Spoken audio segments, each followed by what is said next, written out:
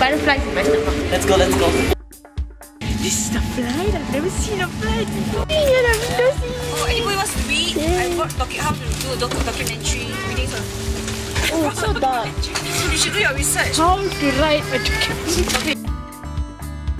Hey, we want some more? Oh, there's vitamin C. Oh,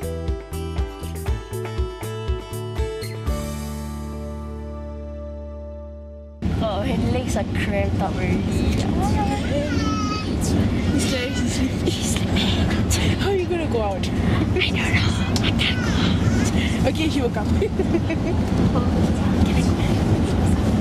Madam Chai, my brother recommended that we should visit In-N-Out when we are in LA. So like after we get off the plane, we'll search for it.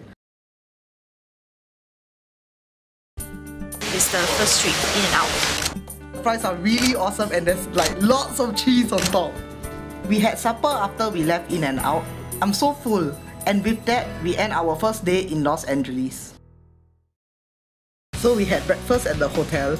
We also had some interactions with the other teams.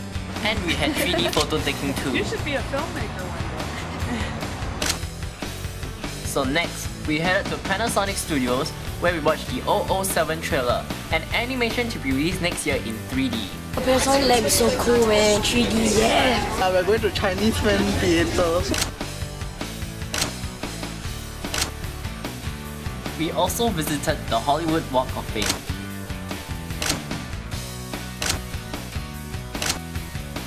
Where are we going? Kodak Theatre, right? Kodak Theatre. Yeah. We're missing Wei, Wei Liang and Miss Pei. Yeah. Waiting for them.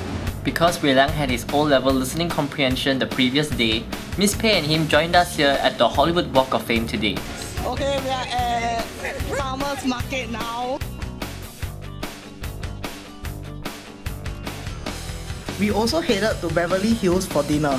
We had apple cider and the steak was awesome. We also had fun back at the hotel. And that's how our day ended on day two. And day 3 comes with exciting bonding activities such as musical chairs, electric slide, and Macarena in the morning. On behalf of the Singapore team, Kevin performed a song. Walking down the red carpet was such an honor. I felt like a celebrity. It felt like the Oscars. We even got interviewed. It felt great.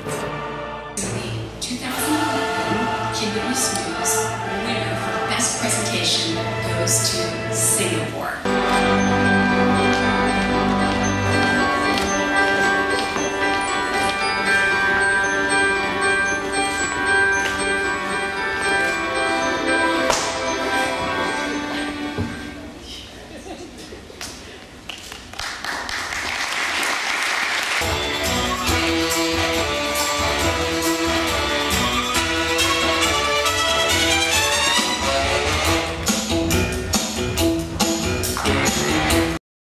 This day was a day of fun.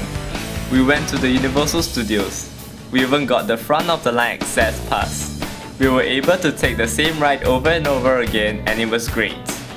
The best part of the day was getting to see production sets such as Heroes, Ghost Whisperer, and Jaws.